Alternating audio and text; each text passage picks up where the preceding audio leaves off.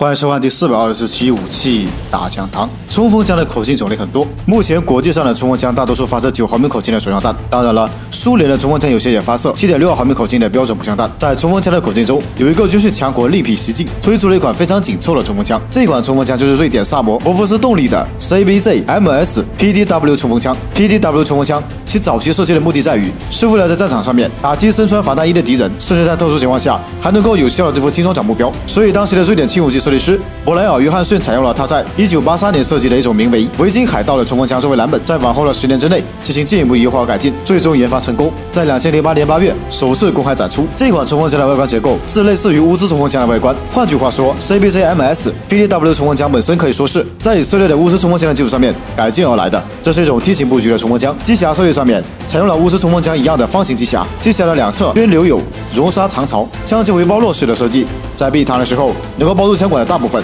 后座原理为自由后座式原理，固定机针，开膛待击的将击模式。跟乌兹不同的是，CBC MS PDW 冲锋枪在机匣的顶部设计了皮卡丁尼导轨，可以用来安装各种光学瞄准器。在机匣的上方还有可调节式的机械瞄具，柱形准心，配备参孔式罩门。由于在顶部安装了皮卡丁尼导轨，所以垃圾柄不能跟乌兹冲锋枪一样直接设立在机匣的顶部，所以 CBC MS PDW 冲锋枪将垃圾柄直接移到了机匣的尾部，设计成了类似于塞子的样式。垃圾柄设计有弹簧装置，当你向后拨的时候可以拉开枪机，而松口后就会自动弹回。还有一个特殊的地方就是，这个垃圾柄在射击的时候是不随枪机一起运动的，能够大大的提升机械的可靠性。后枪托方面采用了钢丝制成的可伸缩式枪托，枪托伸出的时候，枪长为五百六十五毫米。枪托收起后，其长度为三百六十三毫米，枪管长度为两百毫米。在枪管上面可以安装一具可拆卸的两脚架，用来支撑射击。弹匣设计方面，跟物资冲锋枪一样，通过垂直握把进行供弹。在前枪托的下方也设置有导轨，可以安装前置握把。前置握把内部也可以携带备用弹夹。弹匣采用二十发和三十发的标准双排双接弹夹，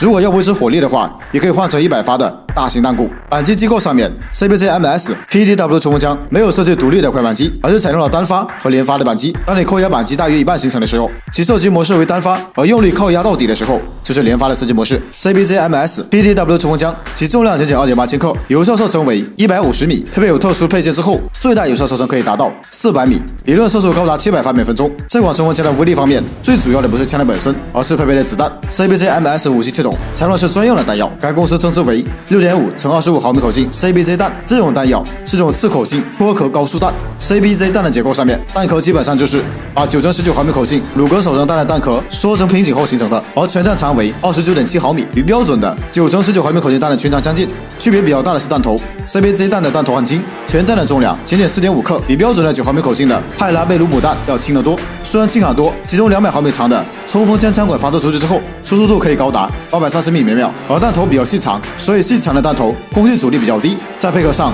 非常高的出速度，能够保证较高的到达速度。弹头材料还是钨合金弹头，所以其监测能力相当的高了。而为了对付无防护的目标，还设置有一种六点五乘二十五毫米 CBZ ST 弹，其中的 ST 是勺形弹尖的意思。这种弹头的形状是勺形的，在进入人体后很容易翻滚，跟空间弹类似，能够造成较大的永久空枪伤害，加大对目标的杀伤效果。目前 CBC MS PDW 冲锋枪在欧美市场没有获得订单，还处于发展阶段。未来这款冲锋枪的发展之路会是如何的呢？只能让时间来证明了。好了，本期的武器大堂到此结束，更多精彩视频欢迎关注我们的微信公众号“武器大堂”获取。我们下期见。